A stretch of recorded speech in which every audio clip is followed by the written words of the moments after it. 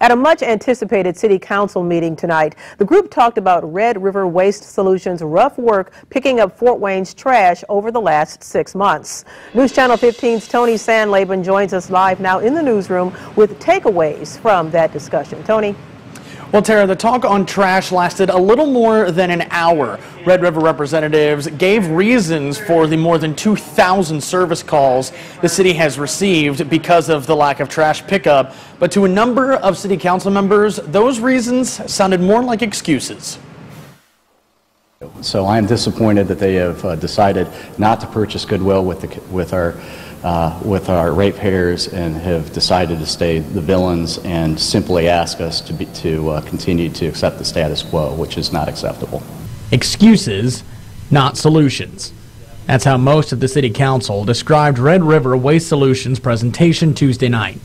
Red River Vice President of Business Development and Government Relations, Steve Smith, says complaint calls are trending down. So we, we actually track calls per day. And so when, the, when they go up and calls per day are going down. While that may be, the city's 311 calls are up this month.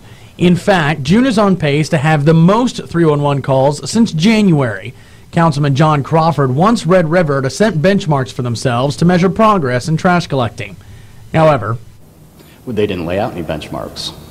They came in with another set of uh, sob stories, uh, acting like they didn't know that Memorial Day uh, was was going to.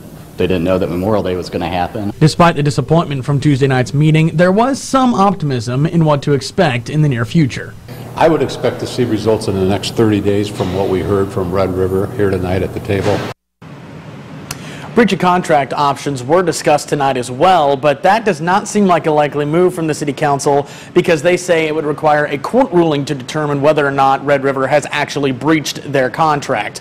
Now, Councilman Jehl says he wants the funds that are going to come from the recent fines that Red River has been levied to go towards possibly funding a second bidder or even giving a possible rebate to people in Fort Wayne whose trash has not been adequately collected. Live in the newsroom, Tony Sandleben, News Channel 15.